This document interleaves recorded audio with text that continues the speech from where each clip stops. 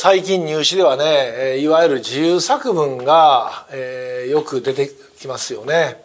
2022年からその高校もですね、いわゆる英語表現というのが論理表現に変わってですよね。ぜひね、そのファクトとオピニオンとの区別をしっかりしてもらいたいなと思うのね。自分のオピニオンは引っ込めてファクトを書く訓練ね。クラブ活動というものの利点は何ですかって言われて、連帯感ができるとか、達成感が得るとか、友情が深まるとか、万人がそうだとは限らないでしょそういうのをオピニオンって言うんだよね。クラブ活動をすれば勉強時間が減る。これはもうファクトだよね。